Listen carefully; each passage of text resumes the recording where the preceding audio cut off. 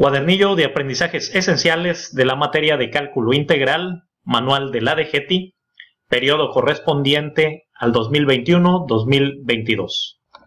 Tema 1.5, sumas de Riemann. Trataré de hacerlo corto y rápido este tema. Les aclaro que veo muchos errores en este manual y por ende omitiré algunas cosas de él. La sumatoria de Riemann nos va a ayudar a calcular áreas exactas. Y es importante entender rápidamente esto de la página 43. ¿Qué pasa aquí con las siguientes eh, divisiones conforme va aumentando el denominador? 10, 100, 1000, 10.000, 100.000, etcétera, ¿sí? ¿Qué pasaría con ese resultado? Un ejemplo, si yo dividiera un pastel entre 10 personas, les tocaría un buen pedazo, por decirlo así. Pero si yo lo dividiera entre mil, entre diez mil y entre un millón, prácticamente no te tocaría nada. Por eso ahí establecemos las propiedades del límite. En cálculo diferencial, eh, la materia anterior, ¿sí? que dice que cuando la variable tiende a infinito, c entre b es igual a cero. Prácticamente es por lo que les estoy explicando de manera práctica. ¿sí? Si tú divides un número, un número 1, entre un millón o billones, prácticamente te va a dar cero. Esto es lo que nos indica esta propiedad. Luego la otra, eh, la constante por una variable, dice que cuando la variable tiende al infinito, va a ser igual al infinito. Y lo vamos a ver en los ejercicios para que lo entiendan, ¿sí? No me meto tanto a esto ahorita. O bueno, de una vez, rápidamente, lo hablo. Si tuviera una constante, o sea, un número 1, 5, el que sea, y lo multiplico por la variable, pero que tiende al infinito, o sea, un valor enorme, ¿sí? A infinito enorme. Entonces, dicho valor, la, el número por la variable me va a dar igual al infinito, un valor enorme. Por eso se considera esta propiedad también. Eso es en cálculo diferencial, espero que lo recuerden, pero van a entenderlo. Solamente es aplicar estas eh, propiedades más adelante. Bien. Página 44. Anteriormente manejábamos la notación sigma, ahora vamos a manejar las sumas de Riemann, ¿sí? En las de sigma, dense en cuenta que consideramos la n, el número de n. En la suma de Riemann no lo vamos a considerar, va a pasar a ser como una variable, como la letra n, y lo vamos a incluir en la ecuación. Pero se los mostraré más adelante en los ejercicios, pasaremos para ella. Bien. Repito, a diferencia que en sigma, sí, la n es este, el, el denominador en sí, Aquí está, aunque nos dice 2, salió de una fracción equivalente de dividir eh, lo que era el ancho entre el número de rectángulos. Nos dio un medio y aquí tenemos el 2. No varía, no cambia, sí, ese es el valor de n, pero acá no va a tener un valor, lo vamos a tomar como la literal, como una n, como está. Vayamos a los ejemplos, ejercicios y adelante.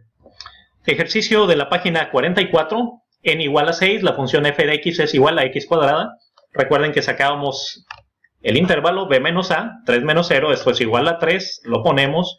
Luego el número de rectángulos n, pero aquí no necesitamos ya el valor, porque va a ser número de rectángulos infinito, ¿sí? Desconocemos su valor, no nos importa en ese caso. Por eso usamos la sumatoria de Riemann. Ok.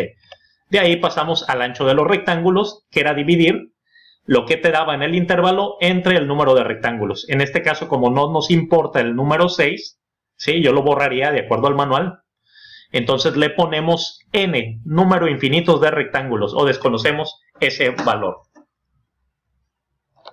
De ahí escribo la fórmula, área total es igual a la sumatoria de 1 hasta n de la función f de x y por delta x. Esta era la base, recuerden, y esta era la altura, la que iba variando, ¿sí? La altura es la que iba variando. Ok, bien, seguimos.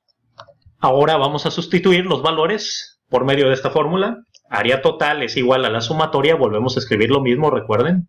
f de x y, ¿quién es? Es 3n, pero esto elevado a la función dice que está elevado al cuadrado. Vamos a poner 3n elevado al cuadrado.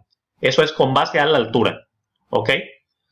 Ah, se me pasaba. Lógicamente incluimos la literal, la letra i, que es la variable que va cambiando conforme a la altura. Y delta x era la, es la base, 3n, lo escribimos.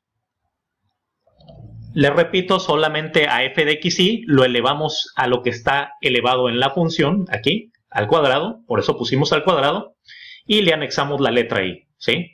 Es por eso, ok. Ahora realizamos estos valores elevados al cuadrado. 3 por 3 me da 9, ¿sí? Eso es multiplicar 3 elevado al cuadrado, 3 por 3, 9. E i por i me da i cuadrada.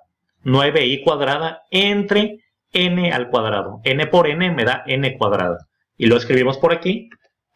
Esto es igual a la sumatoria de lo que dijimos. 9i elevado al cuadrado entre n al cuadrado. Esto lo volvemos a escribir. 3n.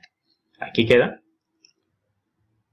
Ahora para simplificar la ecuación, multiplicamos estos términos. El de 9i cuadrada entre n cuadrada por 3n. Y esto nos da de la siguiente manera, pero no se olviden que volvemos a escribir igual a la sumatoria de esto.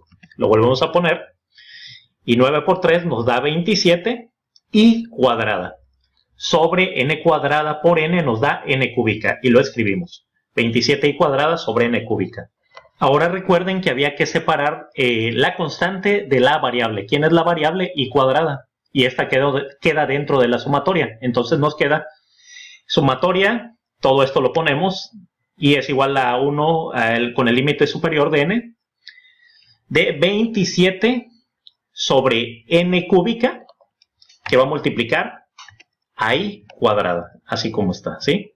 Queda esto 27n cúbica fuera, luego la sumatoria, volvemos a escribir, por i cuadrada. Bien. Ahora tenemos que pasar a sustituir los valores, pero volvemos a escribir otra vez igual a 27 sobre n cúbica, lo escribimos, ¿Y cuánto vale i cuadrada? Acuérdense de las fórmulas anteriores, que por aquí se las voy a escribir, ¿sí?